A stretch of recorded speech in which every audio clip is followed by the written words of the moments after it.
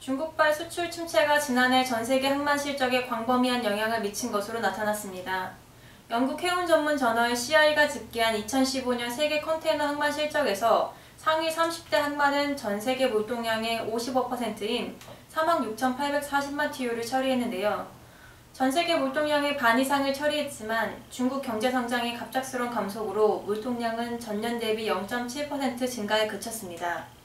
중국 상하이항은 지난해 3,650만 TU를 처리하며 6년 연속 컨테이너 처리 세계 1위 항만의 자리를 지켰습니다.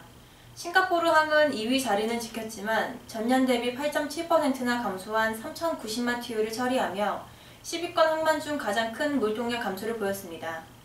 닝보 저우산항은 홍콩항을 제치고 4위로 한 계단 올라섰는데요. 특히 지난해 물동량 2,060만 TU를 처리하며 전년 대비 6.1% 성장해 상위 12 항만 중 가장 큰 성장을 보였습니다.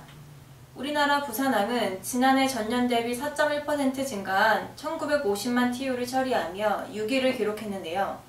부산항은 5위 홍콩항과 불과 50만 TU의 격차를 두고 있어 이 같은 추세가 지속되면 부산항은 2017년 세계 5위권 진입이 가능할 것으로 예상됩니다.